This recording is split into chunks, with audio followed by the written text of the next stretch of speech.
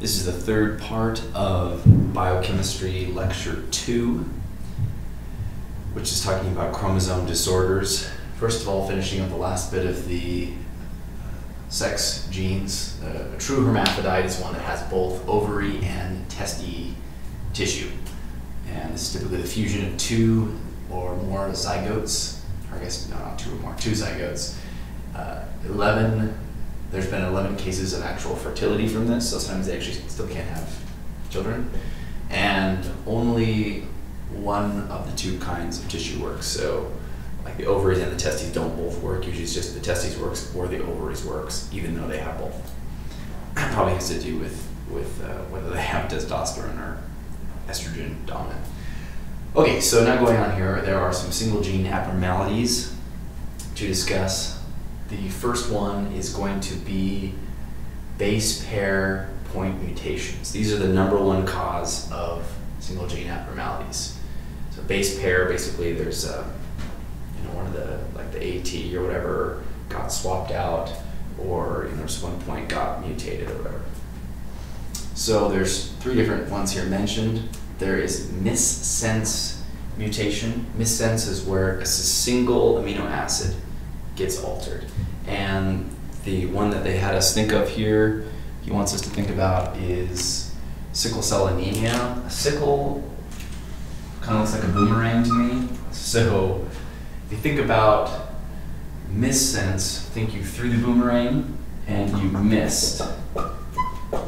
Boomerang being a sickle shape, sickle cell anemia missed, missed sense. Okay, so associate sickle cell anemia with missense. Now we have nonsense. This is, you need to associate with this Cooley's uh, mutation. So here I want to think of this really cool guy, Coolio guy. Yeah, he's really cool, but he just talks nonsense. Maybe he's like a, I don't know, some guy, Cooley, Cooley guy is just talking nonsense. Okay, now lastly, this uh, delete, there's deletion, frame shift, and splicing.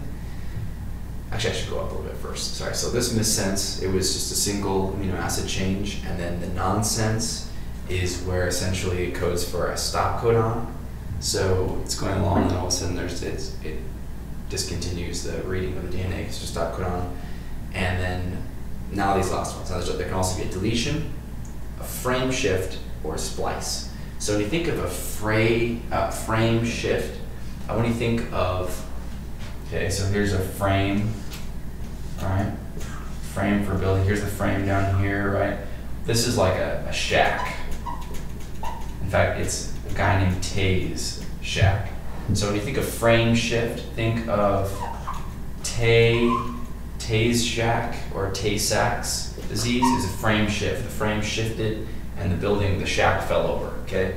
Also, splice. Splice kind of sounds like spice. So I want you to imagine that somebody's cooking up one of those betta fish.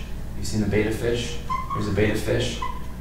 They're, they are cooking up this betta fish, and what are they putting on it? They're putting on some spice or splice, okay? Mm, some, some splice or spice on their, their betta fish. So there you go that's that. Now, really quickly, I'm going to spend the last couple minutes here. I'm going to review through all the slides that he mentioned, and he said that were high yield. So, going through really quickly, you need to know. I'm just going to sit down for this.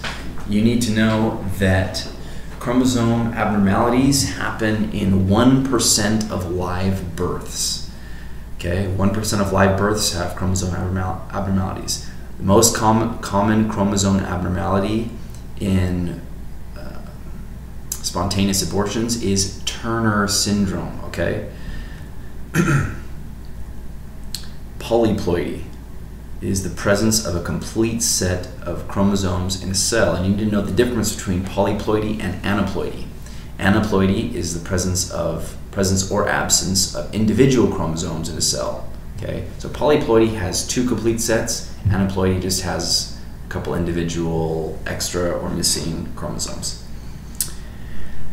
You also need to know that autosomal monosomes, because so so you remember that if you lay down all the different chromosomes, they call all them autosomes except for the two that are the sex genes. Okay, so there's 44 um, you lay them all out on a tray, there's 44 autosomes and there's two sex chromosomes, X and Y, or X and X. And if it's an autosomal chromosome or auto, autosomal monosomy, it's usually going to be lethal. Whereas if it was just X, that's Turner syndrome is is uh, people can survive from that. So you also need to know that triple X syndrome, that's where there's a, a woman born with three X chromosomes. They'll often, uh, often it'll go totally not diagnosed. They go through their whole life not know that they have three X chromosomes. Because this happens because of X inactivation and mosaics. In other words, not all their cells may have have the X the extra X chromosome activated in it, or even have it at all. They also typically people with triple X syndrome will have epicanthal folds, which is like basically like I can't do it, but they have little they have like a little more lining of tissue here in, the, in your inner part of their eye. When you when they're talking about tetrasomy and pentasomy X syndromes, this is where they got like four X X chromosomes, or they have five X chromosomes. They also typically have epicanthal folds and very small mouths. I don't know why that is, but just imagine a person with a really small mouth and four X's or five X's. I don't know. Okay, so next, that'd be 48 or 49 chromosomes. 49 would be pentasomy, 48 would be tetrasomy. Now for XYY syndrome, where a person has 47 chromosomes, but it's, they have an extra Y chromosome. This is typically associated with hyperactivity, attention deficit disorder, impulsive behavior, and having a lot of frustration, easily frustrated. When you think about cri du chat syndrome, that stands for cry of the cry of the cat in French, and I drew a picture earlier of a little cat with with a little short arm trying to give a high five because this happens on chromosome five. But you also need to know this involves semaphorin F don't know how you're going to memorize that. Or 5A, which is involved in axonal guidance and connectivity, and delta catenin, migration and cell adhesion. Well, catenin might be nice to remember because cat is cry of the cat. Those are the same word. Semaphorin F, maybe F, you could think of cat's fur, F standing for fur. Semi fur, I don't know. Okay, next thing he made a point of saying was that Williams syndrome is the deletion of chromosome 7. So think of a little boy named William who's 7. He has uh, elastic rubber bands because they lose the elastin gene. And he took a drink at a cocktail party because they typically have what they call cocktail party behavior. It's almost like overly uh, social, kind of awkward. Next, the Wolf Hirsch Hirschhorn syndrome eh, associated with a Greek warrior helmet. So I drew a picture earlier of a, of a wolf wearing a Greek helmet. And the one you need to really pay attention to here is the WHSC1 gene codes for histone methyltransferase. And so what I thought of is that um, the, the Greek warrior wolf got kicked out of Washington High School. WHSC one Washington High School, I don't know, uh, for histone, for uh, histone methyltransferase, or in other words, he had crystal stone, crystal, meth crystal stone, whatever. I don't know. I hope you remember or not. Next, uh, velocardiofacial DiGeorge syndrome. He made a point of saying the tall nasal root and bridge, poorly developed thymus. So that means they're going to have less T cells. They poorly develop thymus and you need to know the TBX1 gene code for transcription factor, and so that that's what causes the septal heart defects. So I think of a kid named George. This is on chromosome 22. He has a big, long, tall nose, a small thymus, and he got an Xbox, a TBX1, Xbox One for for his uh, birthday party.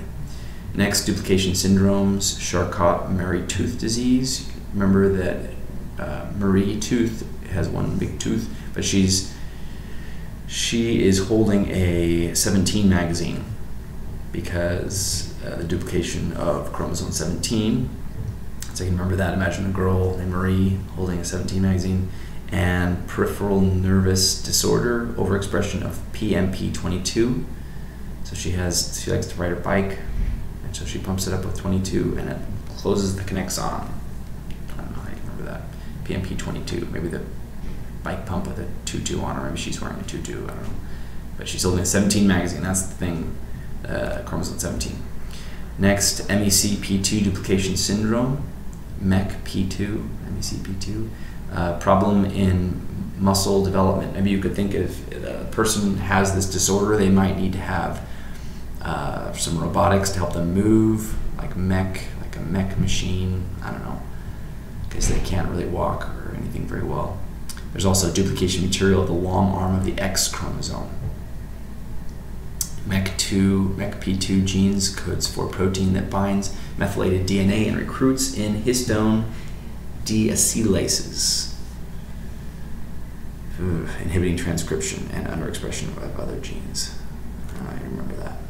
Next, a little mention about sex determination disorders. You just need to know that the SRY gene is for the testes determining factor, or the TDF. Also know that the SOX9 gene also has to do with activating things that result in normal sexual development. And the androgen binding receptor, ABR, uh, ah, I lost my train of thought there. Also, the Leydig cells, uh, they're the ones that produce testosterone. I think that the ABR must activate the Leydig cells. I'm not sure. I think it's the TDF that actually activates Leydig cells. I'm not sure what the ABR does. Binds energy. Next, uh, De La Chapelle syndrome is where a woman has testes. De La Chapelle. How am I going to memorize that? Think of a woman wearing chaps, those cowboy things, because she's got balls, she's got testes. I don't know. So um, basically, what happened with this is the SRY gene translocated to the SRY, SRY gene is the thing that makes a guy develop primary sexual characteristics. So in this case, think of the SRY actually transferred over to the X chromosome. So she got this. And then the XY male with female phenotype, ovary, is another thing that also happens. That's the SRY deletion or, or SOX9 deletion. I'm running out of time, so I go a little bit faster. And also there's Swyer syndrome, which is an XY gonadal dysgenesis, or sterile. So next for female pseudohermaphrodism, this is essentially so it's pseudohermaphrodism because they're not true. They don't truly have both sets of gonadal tissue. They only have one set, but it they look like they look like they have um, a karyotype. Like they look, they, yeah, they look like hermaphrodites. Okay. And so in this case, it's, um, it's he said, remember the enzyme deficiencies. The only enzyme I'm seeing here is 21 hydroxylase for female. So 21 hydroxylase, okay. And for the guys, the enzyme that I'm seeing here is, um, not seeing any enzymes on this one. But there's an XLR and AIS and the testes being in the ab- abdomen. Okay, so male pseudohermaphrodism. Oh, you need to know the 5-ARD, which is out there it is. 5 alpha reductase deficiency, 5-ARD, that's the enzyme. Okay, next, single gene abnormalities, base pair. We already actually talked about this video, so I'm not going to go over this again. And that's the whole thing.